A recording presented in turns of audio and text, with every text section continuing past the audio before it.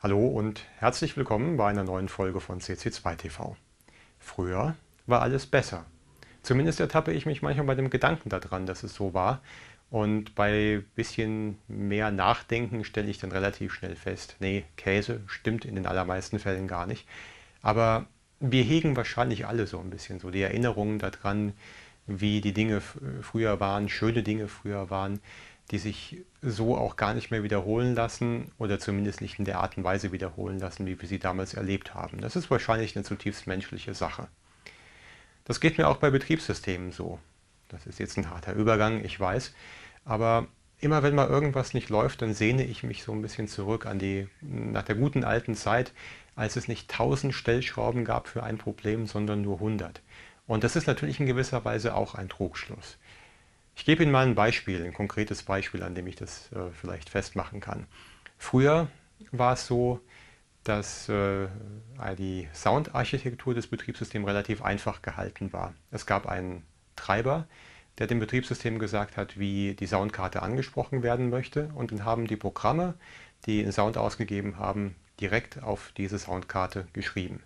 Wollte zur gleichen Zeit ein anderes Programm noch einen Ton von sich geben, dann gab es eine Fehlermeldung. Früher meint jetzt hier so die 90er Jahre, die frühen 2000er Jahre.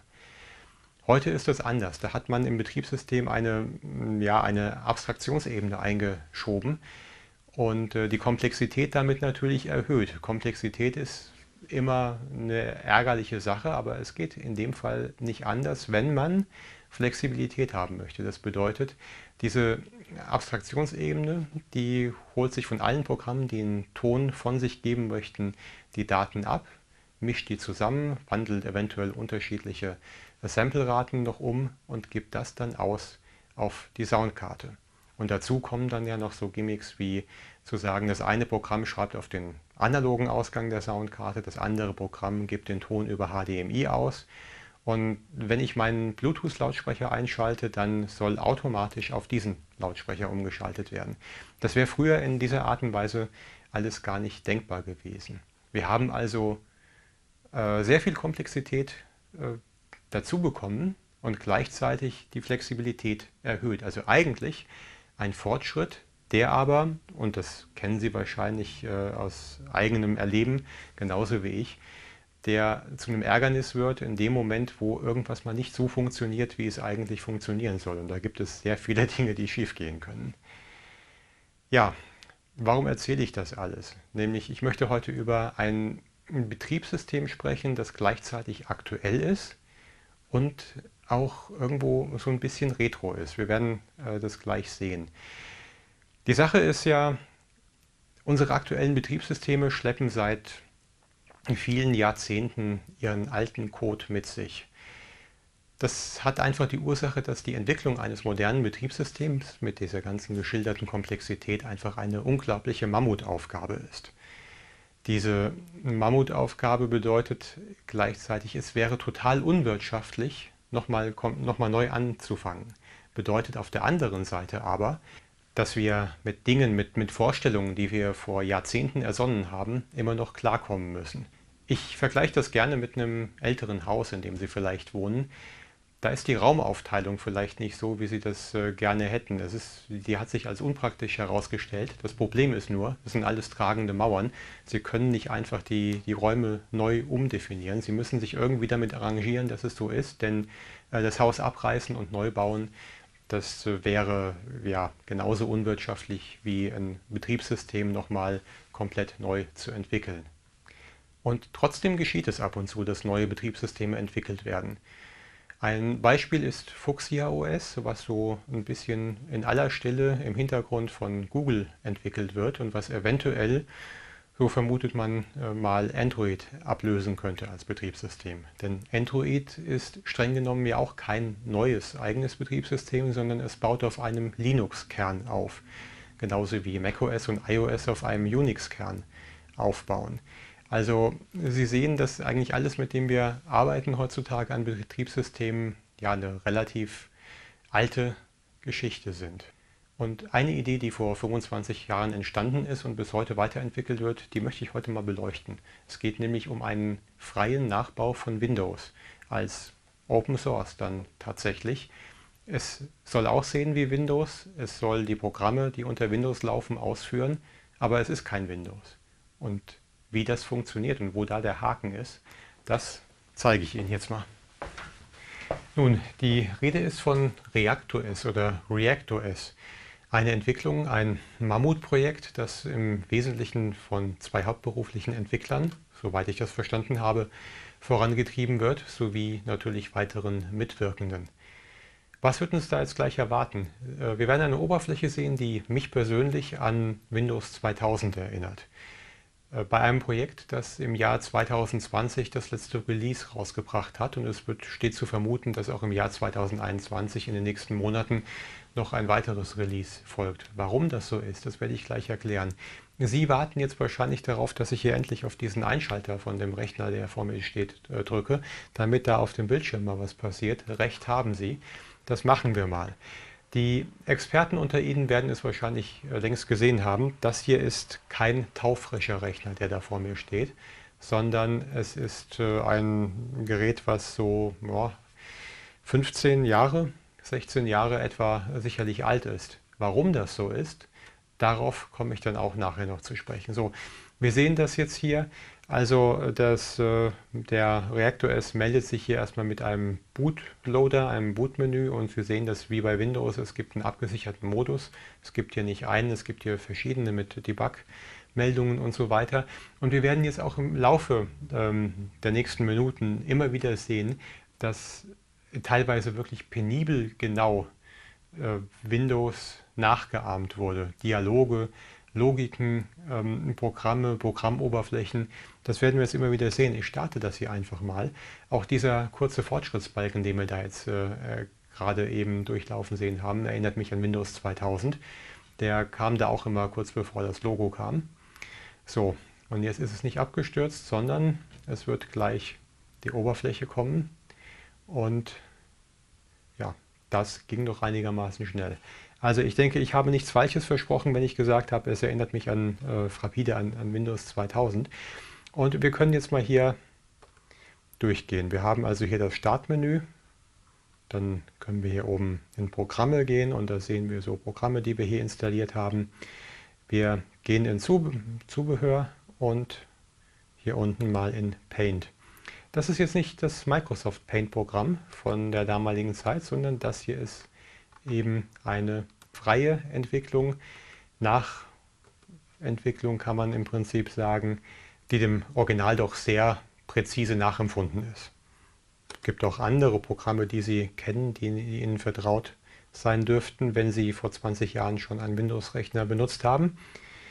Da muss ich mal hier gucken. Ach nee, die Spiele haben Sie ausgelagert hierhin. Da wäre auch das Solitärspiel das also auch sehr, sehr an das Original rankommt. Wir können jetzt auch, wie bei Windows, sagen, wir drücken Ctrl Alt entfernen. Und auch dieses Menü kommt Ihnen sicherlich dann bekannt vor und wir gehen hier auf den Task Manager und ich wiederhole mich, wenn ich sage, das hier erinnert mich doch wirklich sehr frappierend an das, was ich von damals kenne. Ja, schließen wir diese Programme hier also mal wieder und ja, da piept er. Und gehen wir mal hier in Einstellungen und Systemsteuerung. Auch Sachen, auch, auch Marotten von Windows sind dabei. Ich weiß nicht warum, ob das jetzt Absicht ist, ob das ein Easter Egg ist oder ob das irgendeinen tieferen Grund hat, den ich nicht verstehe. Wenn ich jetzt die Systemsteuerung öffne, die Symbole, auch eben auf dem Desktop, die bauen sich von hinten nach vorne auf. Nicht von oben nach unten, nicht von links nach rechts, sondern von, von rechts nach links, von unten nach oben. Achten Sie mal darauf. Also das ist schon eine Sache, äh, die mich damals äh, tiefgründig irritiert hat bei Windows. So, wir gehen mal auf System und da sehen wir also, das ist wirklich nicht der aktuellste Rechner, ein Pentium 4 mit 1,6 GHz und 1024 äh, 1 GB Arbeitsspeicher. Und auch so Sachen wie, wenn wir den Gerätemanager öffnen, der sieht auch ziemlich vertraut aus hier. Das Gleiche stellen wir dann auch fest, wenn wir mal den Arbeitsplatz öffnen. Das muss ich, brauche ich gleich sowieso. Das Laufwerk E, da müssen wir gleich mal drauf gucken. Kann ich schon mal vorbereiten. Auch so Sachen wie, dass man mit der rechten Maustaste auf Start den Explorer öffnen kann. Das haben sie hier also auch nachimplementiert und hier kann man dann weitergehen. Die Icons, die sehen natürlich ein bisschen anders aus. Die hat man sich von Linux-Oberflächen äh, geborgt. Die äh, hat man da nicht selbst nachmachen müssen oder hat sich da nicht allzu eng an, an äh, Windows orientiert. Aber darum geht es ja auch wirklich nicht. Ich möchte jetzt in dem Video eigentlich über, über drei Kernpunkte, auch Kernprobleme von diesem Betriebssystem sprechen. Das eine ist die Softwarekompatibilität, die Hardwarekompatibilität und am Ende die Stabilität. Softwarekompatibilität, Sie haben es vielleicht hier schon an der Seite entdeckt. Ich habe mal ein paar bekannte Programme runtergeladen. Gucken wir mal hier, dass wir da mal ein Bild geöffnet kriegen. Die waren hier, glaube ich, in ReactOS und Web und Wallpaper. Und dann nehmen wir hier mal den Fisherman. Ja, also das funktioniert. Was zum Beispiel nicht funktioniert, ist, wenn Sie GIMP installieren.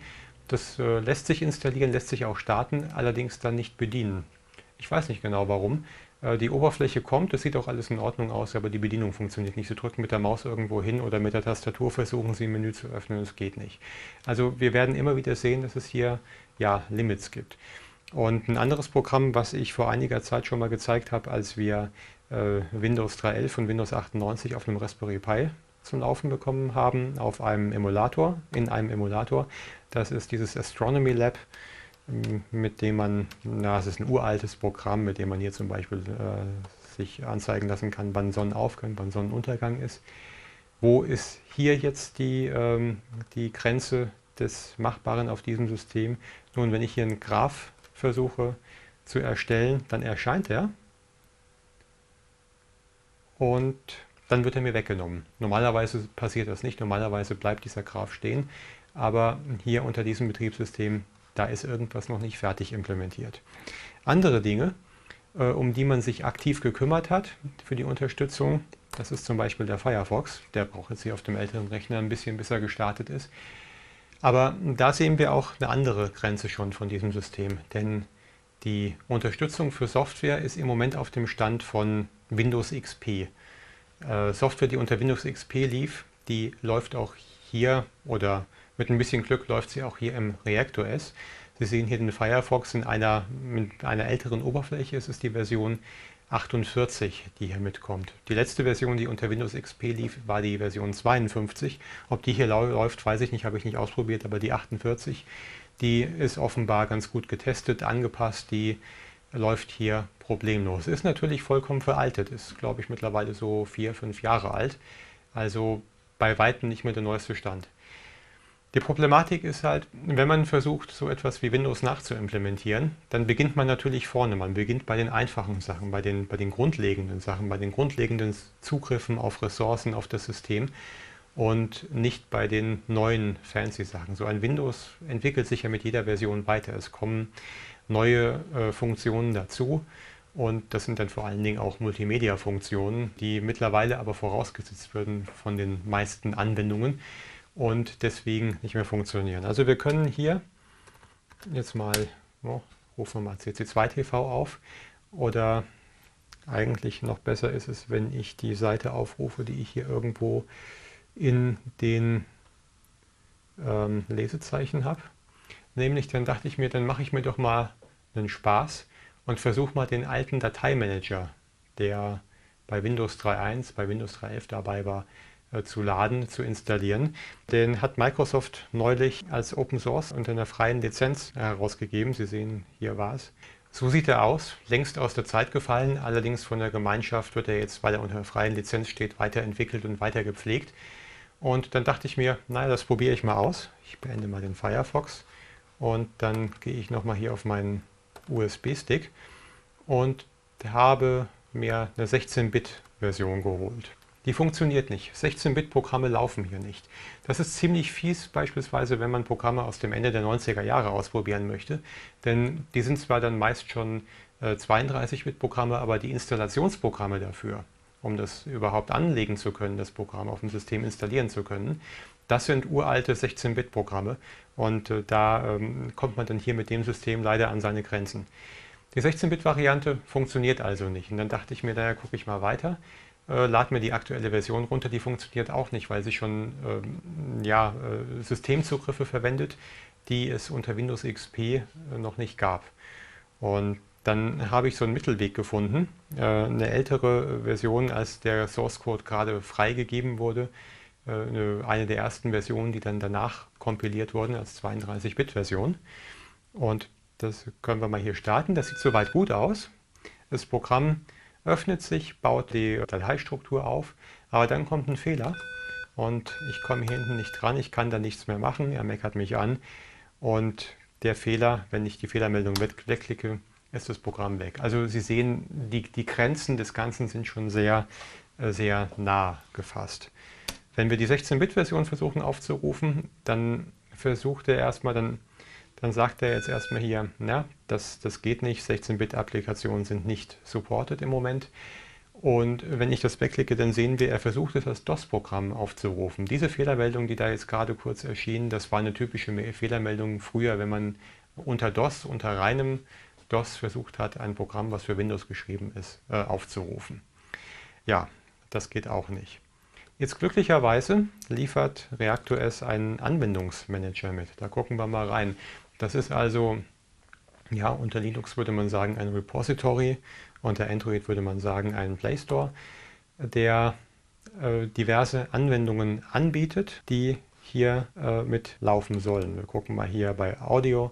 Das sehen wir Audacity. Das sind auch alles nicht die alleraktuellsten Versionen, aber sie sind noch nicht so alt, meist so um die vier, fünf Jahre, also durchaus noch Dinge, die im Prinzip verwendbar sind. Oder hier unten der, der Winamp. Bei Video ist sogar der VLC dabei. Bei Grafik interessanterweise wird hier GIMP angeboten. Wie gesagt, bei mir läuft es nicht. Äh, bei Internet und Netzwerk, man kann sich sogar Webserver installieren, äh, habe ich ausprobiert, funktioniert. Mail-Clients sind dabei, diverse Browser, die aber auch alle nicht aktueller sind als äh, der Firefox 48, der, den ich jetzt hier installiert habe. Bei Büro ist sogar, wenn wir hier gucken, haben hier in der Mitte LibreOffice immerhin in der Version 5. Wir haben jetzt die Version 7 aktuell.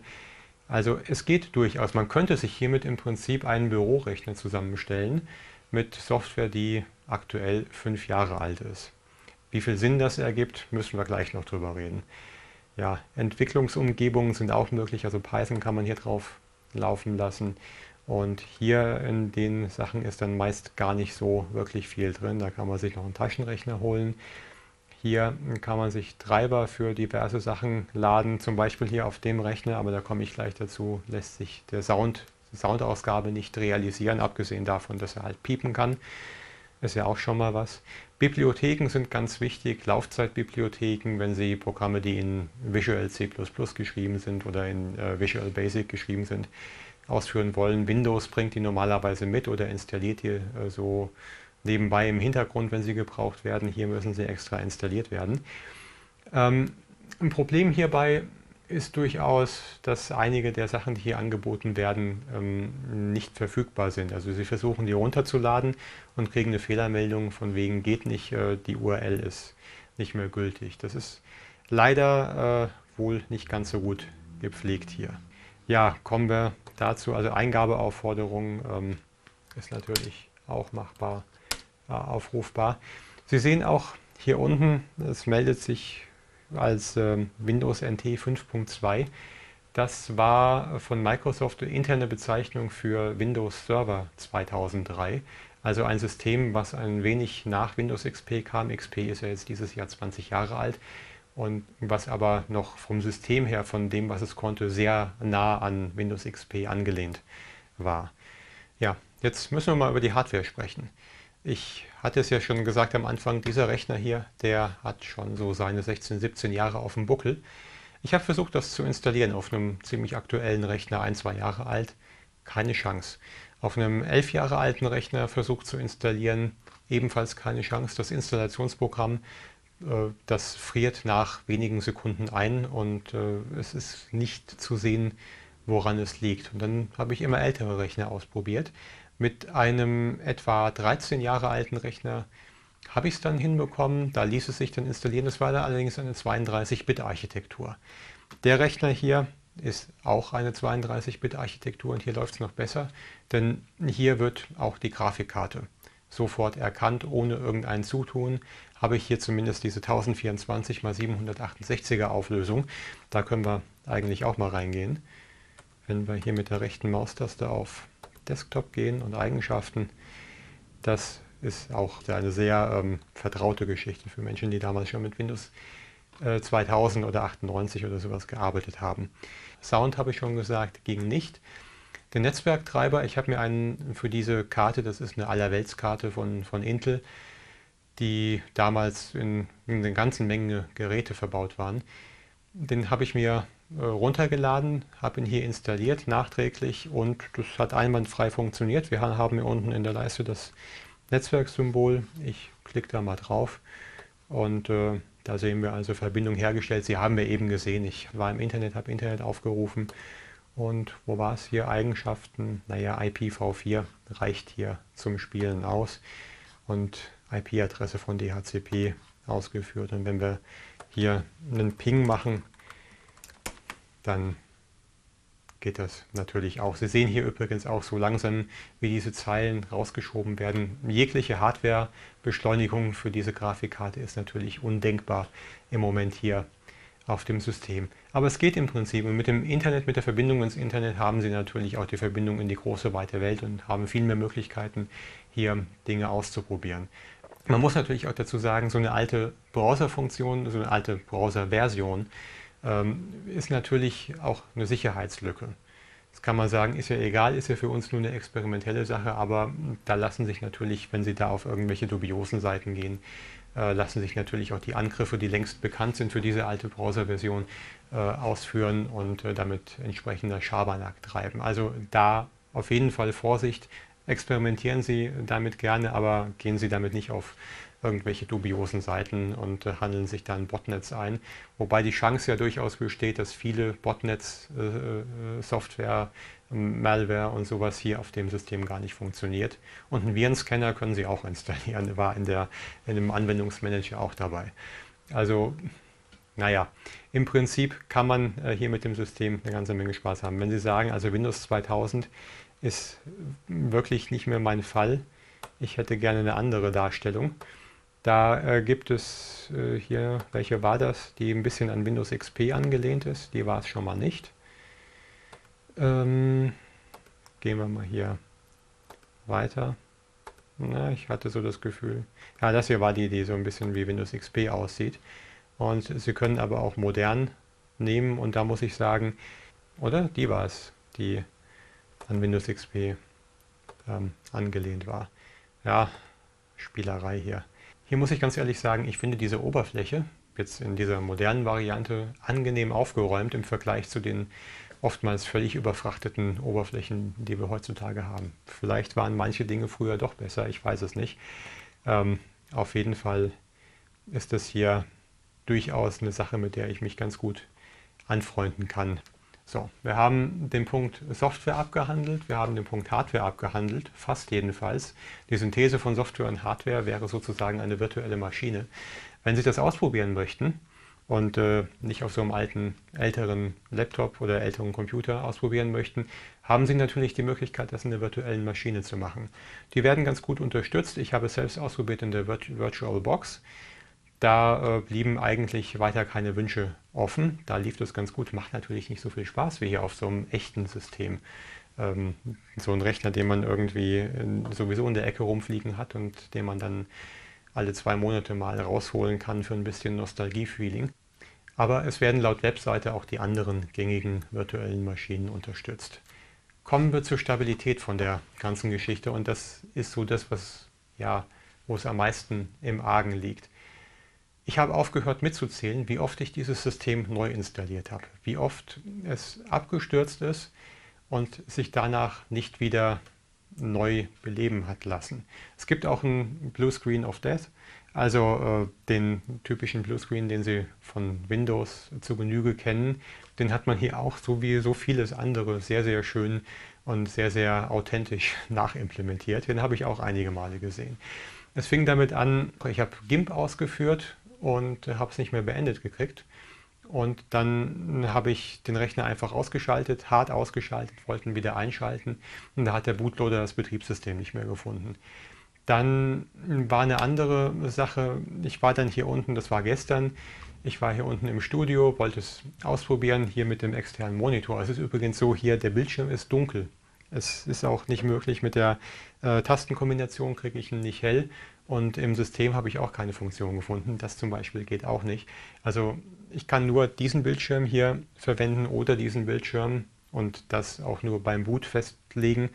Und ansonsten habe ich da keine Handhabe. Ich habe da jetzt äh, einen Vorschaubildschirm, deswegen kann ich hier einigermaßen zielsicher trotzdem agieren. Aber das sind eben alles so Kleinigkeiten. Dann wollte er wieder neu installiert werden, weil er dann nicht mehr hochkam. Er blieb irgendwann hängen. Es kann auch damit zu tun gehabt haben, ich habe eine Maus angeschlossen, eine USB-Maus, die problemlos funktionierte, die er sofort erkannt hat. Mm, aber wer weiß, nach dem nächsten Neustart ging es nicht mehr. Was aber auf jeden Fall gut geht, man freut sich ja hier über die kleinen Dinge, die funktionieren. Ich habe einen USB-Stick angeschlossen und ohne irgendeinen Meckern und Moppern hat dieser Stick funktioniert. Ich habe dann pragmatischerweise, weil ja so viele andere Sachen noch waren, weswegen kann ich mich gar nicht mehr daran erinnern, ähm, weswegen der nicht mehr neu installieren wollte. Da ähm, habe ich die ganzen Programme auf den USB-Stick geschoben. Sie haben das hier eben ja gesehen, die ganzen Installationsprogramme und dann konnte ich ganz schnell das System, so wie es war, wiederherstellen. Ja, eine andere Sache ist, zeitgemäß, wie gesagt, der Stand der Unterstützung ist irgendwo im Jahr 2003 etwa im Moment stehen geblieben. Das ist einfach bei so einer Mammutaufgabe und so wenig leider Entwicklungsressourcen wahrscheinlich einfach ein Faktum, was wir akzeptieren müssen. Ähm, das bedeutet auch, wenn Sie das installieren wollen, es gibt zwar eine Möglichkeit, eine Beschreibung, wie Sie das von USB, von einem USB-Stick installieren können sollen. Ich habe das ausgeführt, das ist eine Formelei äh, insgesamt und es hat trotzdem nicht funktioniert. Ich weiß nicht, Woran es lag, ist wahrscheinlich auch wieder eine Inkompatibilität mit dem Rechner vielleicht. Also bleibt ein zeitgenössisches Medium, diese platt gedrückten, platt gewalzten Disco-Kugeln, die damals vor 15, 20 Jahren noch allgegenwärtig waren. Darüber geht es, darüber lässt es sich dann problemlos installieren. Es gibt eine Live-CD, die Sie ausprobieren können, wo Sie es direkt von der CD starten können und es gibt die Boot-CD. Es ist nicht beides in einem, sondern es sind zwei verschiedene Images, die Sie runterladen müssen. Aber das System, weil es eben so klein ist und vielleicht weil es noch gar nicht so viele kann, auf der einen Seite und auf der anderen Seite, weil es eben diesen ganzen alten Ballast nicht mitschleppen muss. Das System hm, ist ungefähr, die, das Image ist um die 170 Megabyte, glaube ich, groß. Also wirklich eine überschaubare Datenlänge für so ein komplettes Betriebssystem eigentlich durchaus äh, eine beachtenswerte Geschichte. Man hat natürlich nicht komplett das Rad neu erfunden oder sagen wir, man hat nicht das Auto neu erfunden, aber äh, die Räder und so einige andere Teile, aber andere Teile, da hat man sich bedient. Es gibt ja beispielsweise, das kennen Sie sicherlich, äh, Wine, die Abstraktionsebene unter Linux und macOS, mit der es möglich ist, der Windows-Programme mehr oder weniger gut aufzurufen. Da hat man sich natürlich bedient. Da ist äh, freier Source Code, den man verwenden konnte, äh, Codefragmente, die man hier übernehmen konnte und auch äh, ganz andere Beispiele. Im, Im, Kernel hat man sich bei anderen Projekten bedient, die auch nicht so richtig aus dem Quark gekommen sind. Also ein wenig Synergieeffekte sind schon da. Man war zum Glück nicht so wahnsinnig und hat wirklich alles ganz neu gemacht aber doch ist es ein Betriebssystem, das nicht Linux ist, nicht macOS ist, nicht iOS ist, nicht Windows, sondern eine tatsächliche Eigenentwicklung, eine tatsächliche ganz neue Geschichte. Ja, damit habe ich so erstmal alles gezeigt. Wir können hier nochmal im Startmenü gucken. Also das ist wirklich vertraut. Gucken Sie mal Drucker- und Faxgeräte. Das kann man sogar in der deutschen Behörde einsetzen. Ich habe sogar gelesen, also in Einzelfällen, es ist ja wirklich, wie Sie wahrscheinlich jetzt rausgehört haben, nicht für den Produktiveinsatz geeignet. Aber es in ein Einzelfällen vielleicht doch. Also es soll wohl auch einzelne Maschinensteuerungen geben mit älteren Maschinen, die aber noch tadellos funktionieren und aber eine alte Software haben, die unter neuen modernen Betriebssystemen nicht läuft. Da ist ReactorOS wohl in wirklich ganz vereinzelten Fällen im Einsatz. Hier gucken Sie mal Putty, das, äh, das Terminal, mit dem Sie sich äh, über SSH mit anderen äh, Rechnern verbinden können. Also so Programme, so relativ kleine Programme, die nicht so viele Ressourcen brauchen, nicht so viele Multimedia-Features haben, die laufen hier durchaus. Gut, dann würde ich sagen, dann gehe ich mal zum Fazit. Also, nette Idee und nichts dahinter? Keineswegs. Ich finde es hervorragend, dass es so ein Projekt gibt, dass es so ein Konzept gibt, dass es Menschen gibt, die zeigen, es ist eben möglich, neben den großen Betriebssystemen nochmal etwas ganz Neues zu entwickeln. Und selbst wenn es scheitert, wir können alle nicht in die Zukunft schauen, selbst wenn sich herausstellt, dass die Community einfach zu klein ist für so eine Mammutaufgabe und äh, es auch keinen Willen gibt, da mehr Geld reinzubuttern, dann war es den Versuch auf jeden Fall wert, weil vielleicht verschwindet das Betriebssystem irgendwann, aber die Ideen, die Konzepte und das Bewusstsein dafür, dass so etwas prinzipiell funktioniert, dass so ein Betriebssystem, naja, fast äh, von, den, von der Funktionalität her mit dem, ähm, mit, mit, dem herhalten kann, was wir heute auf unserem modernen Betriebssystem haben, das äh, ist es auf jeden Fall wert. Und wenn Sie Spaß daran haben, wenn Sie so einen alten Computer haben oder wenn Sie es auch nur in der virtuellen Maschine ausprobieren wollen, dann machen Sie das. Seien Sie nicht enttäuscht, wenn die Hälfte von dem oder mehr als die Hälfte von dem, was Sie damit probieren, nicht funktioniert. Gehen Sie ohne Erwartungen daran, dann ähm, ist die Überraschung größer, wenn dann doch etwas funktioniert. Und äh, denken Sie daran, machen Sie das nicht auf Produktivsystemen. Es kann, das System hat diverse Bugs und äh, auch die Festplatte, die Festplattenpartitionierung kann Ihnen zerhauen werden. Machen Sie auf jeden Fall ein Backup, wenn Sie auf dem Rechner, mit dem Sie es probieren, ein, ähm, ja, ähm, ja, wichtige Daten haben. Also machen Sie das Backup vorher und dann geht auch nichts schief. Ich gehe jetzt gerade, und zwar aus dem Bild, wünsche Ihnen alles Gute. In zwei Wochen gibt es das nächste Video und denken Sie daran, wir finanzieren uns überwiegend durch Ihre Spenden. Wie Sie uns unterstützen können, steht entweder unter dem Video, je nachdem, wie Sie dieses Video schauen, oder ansonsten auch hier auf der Tafel, die jetzt in wenigen Sekunden erscheint. Bis neulich. Ahoi!